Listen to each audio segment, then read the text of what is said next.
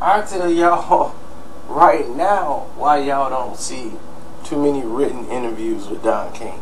And best basically on our website.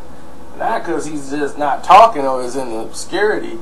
People put up videos of Don King doing an interview, but if you somebody writing an interview, writing that down on paper, that would take you about three years.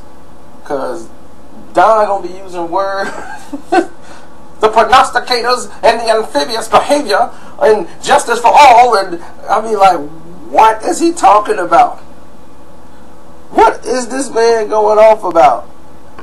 Because the, the injustice of the multi-mineral supplements that we have in this world that support the immune metabolism that's going on with this anti-disestablishment that the government has us to do. And God bless America.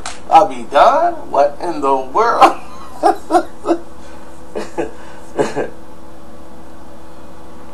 And be like, so, um, you know, how do you feel the fight's going to go between the two? Oh, it's going to be the greatest fight of all time because this is the greatest land of liberty, justice, and for all. That's why people do not do writing interviews of Don King. It will be paragraphs and paragraphs of quotes from the Bill of Rights.